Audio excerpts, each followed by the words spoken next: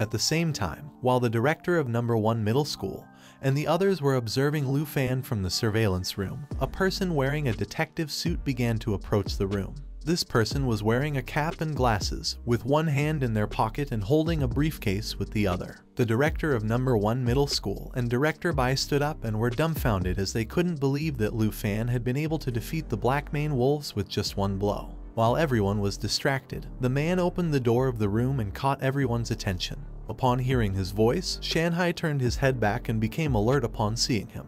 The man entered the room, placed his hand on top of his cap, and introduced himself as Kangxing, a special envoy from Longdu. He had come here to take someone back to Longdu for investigation. He took off his cap and while holding it in his hand, he started looking at Shanhai and asked where the Dragon Master Lu Fan was. A statistics window appeared. Kangxing had the combat class and was level 57. At the same time, in the Nightmare Trial, Lu Fan began cutting the vines to make his way using the dagger. While holding the dagger with one hand, he extended the other forward and opened the system map.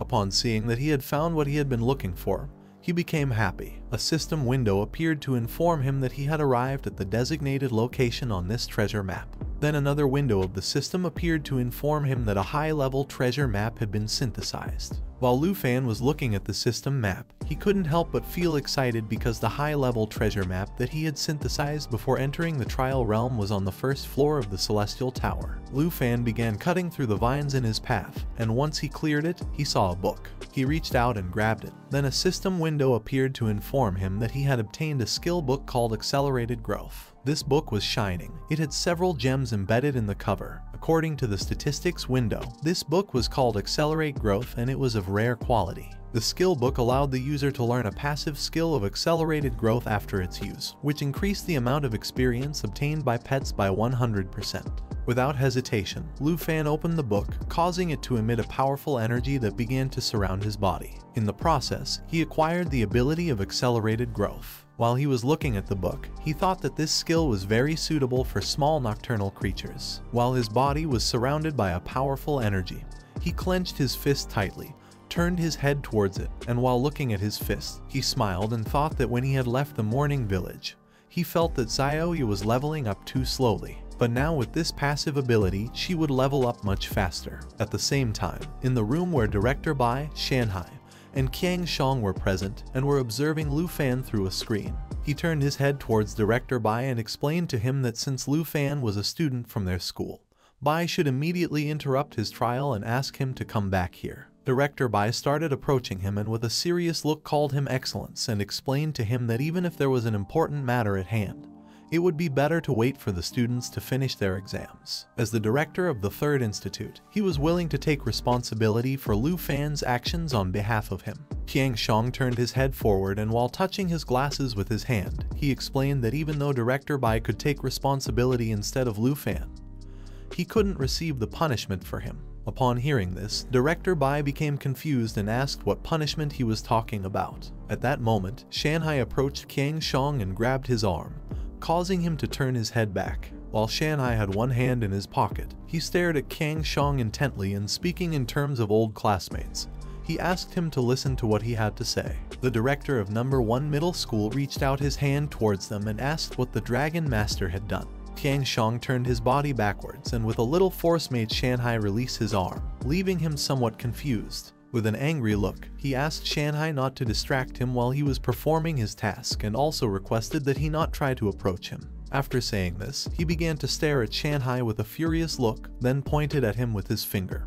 And despite not knowing why he was defending the dragon tamer, warned him that if he got involved in this matter, both the Jin family and the high-ranking members of the dragon clan would not be pleased. Shanhai simply started to look at Kang Shang with a serious gaze and remained silent. After saying this, he pushed Shanhai using his hand, turned around, and asked him if he understood this. Then he told Director Bai to bring Lu Fan. While he was distracted, Shanhai called him an old friend. Upon hearing this, he turned his head back. Shanhai took out a cigarette, put it in his mouth, lit the lighter, and while bringing it close to his mouth to light the cigarette, he explained to Kang Shang that the relationship between the high-ranking officials of Longdu and the Jin family had an impact on both the Dragon Kingdom and the Taiki Kingdom, which was certainly complicated. He revealed to everyone that once Lu Fan's secret was revealed, both the high-ranking officials and the Jin family would cease to be important. He lit the cigarette and while holding it in his hand, with a serious look he began to stare at Kang Shong and told him that today, no one could take Lu Fan away. Upon hearing this, Kang Shong couldn't help but get angry. He started looking at Shanhai and while pointing his finger at him, he asked him to stop talking nonsense as he didn't believe that Lu Fan had a secret. He also added that disobeying the orders of the special envoy was an act of insubordination. While they were conversing, the directors remained silent without interrupting. Tiang Shong turned around, but at that moment, Shanhai approached him and grabbed his wrist. He turned his head towards him and they both started staring into each other's eyes, creating tension in the atmosphere. While holding a cigarette with one hand, Shanhai stared at Kang Shong and told him that even if he was making a mistake, he was willing to accept it. Qiang Shang turned his head towards him and with an aggressive look revealed to him that his actions would be presented to the senior management of Longdu. Shanhai was a level 57 knight, and Qiang Shang was a level 57 swordsman. Director Bai approached them and asked them to calm down as they should not affect the important trial exam. Kang Shang made Shanhai let go of his hand, then he turned his head slightly towards him and asked why he was going so far for Lu Fan. Shanhai took the cigarette out of his mouth, turned his head towards the screen, and while exhaling the air from his lungs, he asked him if he didn't feel intrigued by Lu Fan's secret, which angered the high-ranking officials of Longdu and the Jin family. Qiang Shang raised his head and while looking at the screen, he was shocked to see that Lu Fan had chosen the Nightmare level. At the same time in the Nightmare trial, Lu Fan made his way through cutting vines and reached a door. At first, he only wanted to test how far he could go alone, but now that he had the passive ability, he decided to continue exploring further. While Lu Fan had his hand on his hip and was observing the door with a smile, his status window appeared. Lu Fan was a level 5 Dragon Master.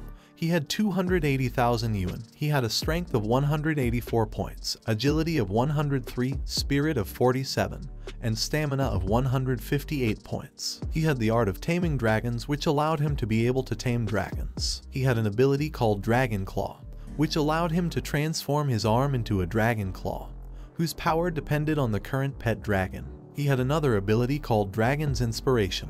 This ability allowed him to inspire himself and the dragon pet, increasing all attributes and attack power by 30%.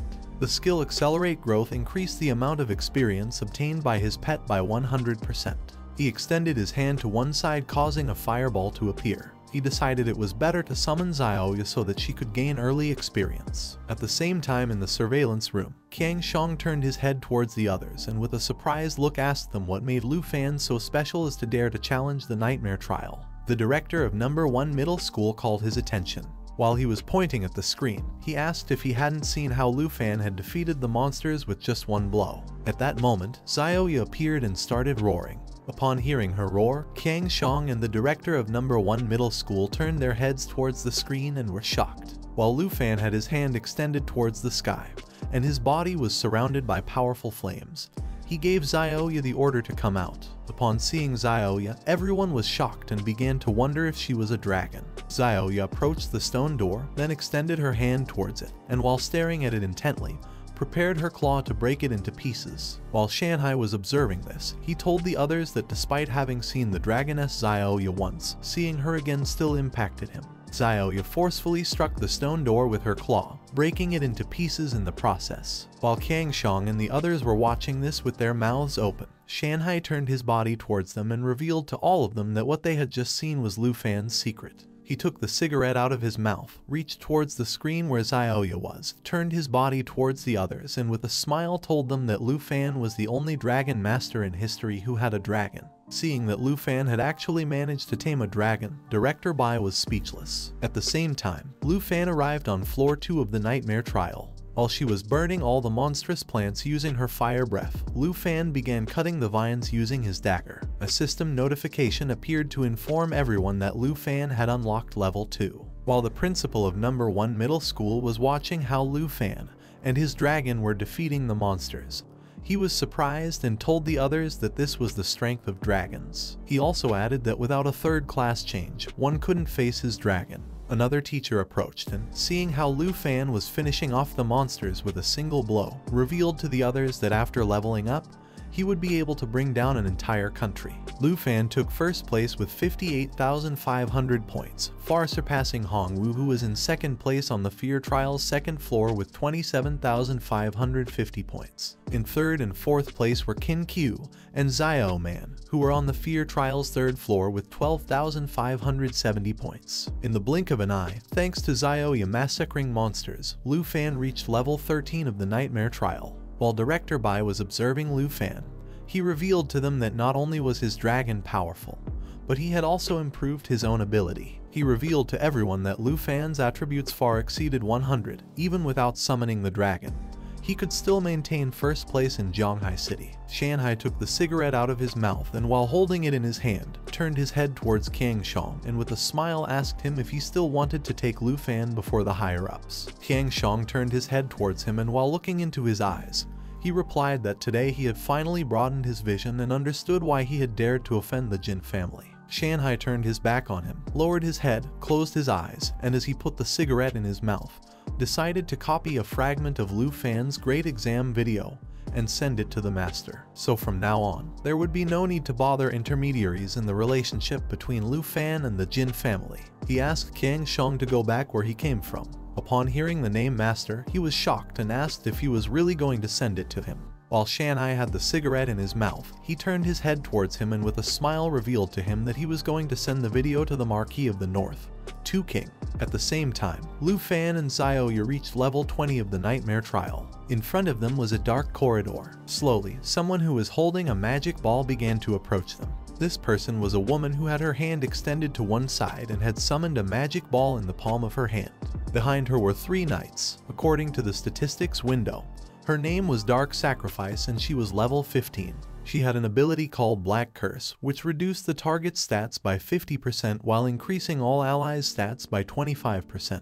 She had another ability called Merging into Darkness. This ability enveloped oneself and all allied targets in shadows for 5 seconds, making them immune to all attacks. Her last ability was called Darkness Control. She could lead the Dark Knights and make them fight for her. While Lu Fan was petting Xiaoya, he began to smile. With the growth acceleration effect, she was about to level up. Lu Fan reached out his hand towards the woman and ordered Xiaoya to use the lava flame ability. She obeyed. While she stared at the woman with a killer look, she opened her mouth and conjured a fireball. A system window appeared to inform Lu Fan that the ability was recharging. Xiaoya opened her mouth and unleashed a powerful flame towards the woman and the Dark Knights. She was using the lava flame ability, which allowed her to continuously emit flames forward, causing damage and healing herself at the same time. In a matter of seconds, Xiaoya's flames ended the lives of the woman and the Dark Knights, burning them down to their bones, completing level 20 of the Nightmare Trial in the process. While Xiaoya was closing her mouth, Lu Fan began to cover his face with his hand and couldn't help but smile. Two system windows appeared because Lu Fan and Xiaoya had leveled up. Upon seeing this, he couldn't help but praise her. Lu Fan took first place on the leaderboard with 90,000 points. In second place was Hong Wu who had 31,000 points and was at level 34 of the Fear Trial. In third place were Qin Q and Xiao Man who had 1690 points and were also in the Fear Trial. Lu Fan turned his head to the side and with a smile asked Xiaoya to come with him as they were going to clean the Celestial Tower together. This is the end of the video. If you guys want to see the next part, then don't forget to subscribe and like the video.